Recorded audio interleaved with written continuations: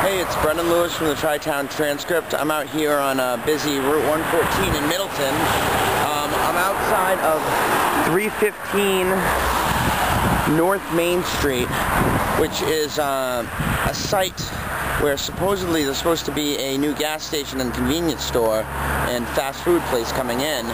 Um, and it was approved last fall and I haven't seen any sort of construction or any sign that this property is going to get uh, changed over anytime soon.